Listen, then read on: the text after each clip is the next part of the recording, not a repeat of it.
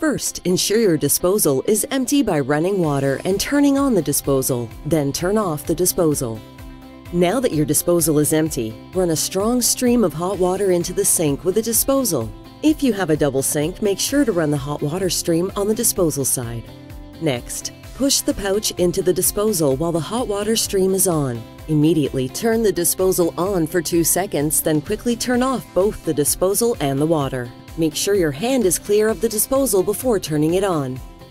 The cleaning foam will begin to rise from the drain, cleaning all the grease and grime that it comes into contact with. Once the foam retreats, rinse the sink clean of any residual foam. Then enjoy your fresh, clean disposal.